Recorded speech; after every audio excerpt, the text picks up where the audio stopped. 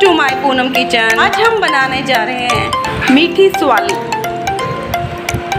ये स्वाली हम तीज के त्योहार पर बनाते हैं और ये खाने में बहुत स्वाद होती हैं। सबसे बड़ी स्पेशल बात यही है कि ये बनाने के बाद कई दिनों तक खराब नहीं होती। इसे हम कई दिनों तक लगातार खा सकते हैं। और ये किस तरह से बनती है? आइए चलो देखते हैं। मीठी स्वाली बनाने के लिए हमने यहाँ 250 ग्राम गुड़ लिया है। 250 ग्राम गुड़ को हमने लेने के बाद गर्म पानी में डालकर इसको अच्छे से मिला लिया है। हमने यहाँ आधा किलो गेहूँ का आटा लिया है। उसमें हमने एक चम्मच सौंफ डाली है और आधा कप हमने देसी घी का यूज़ किया है।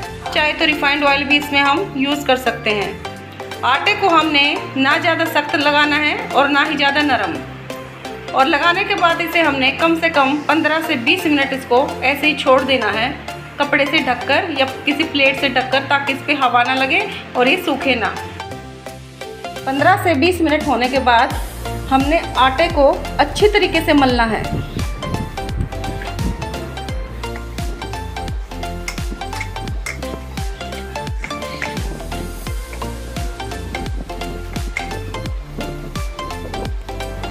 हमने हाथों पर थोड़ा सा घी लगा लेना है। आटा मलने के बाद अब हमने इसके छोटी छोटी लोइयाँ बनानी है। इस तरह से तोड़ तोड़ कर हम रख लेंगे सभी को।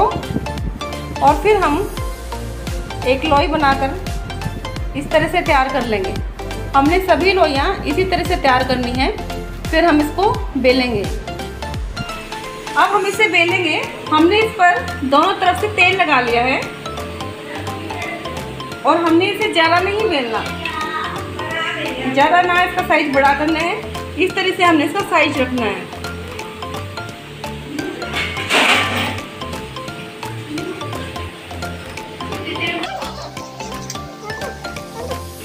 ये देखिए, इस तरीके से हम बेलेंगे।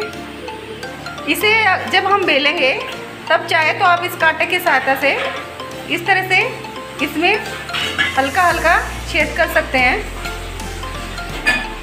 चाहे तो कर सकते हैं, चाहे तो नहीं कर सकते। ये आपकी मर्ज़ी है। एक एक करके तलेंगे।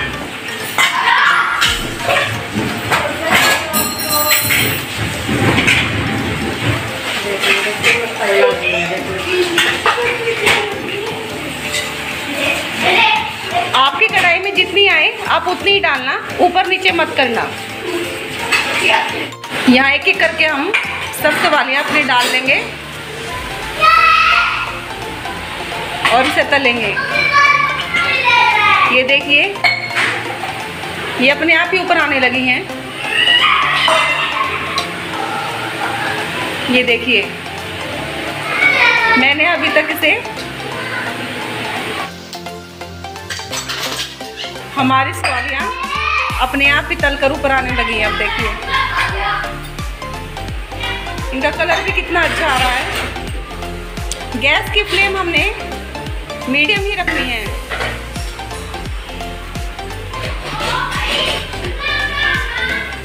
ये देखिए, हमारी सवालियों का कितना अच्छा कलर आ गया है।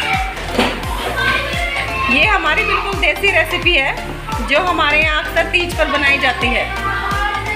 आपके यहाँ तीज पर क्या बनता है, मुझे कमेंट्स में ज़रूर बताइए। और आप मेरी वीडियो कहाँ से देख रहे हैं, कौन से शहर से देख रहे हैं, ये भी मुझे ज़रूर बताइए।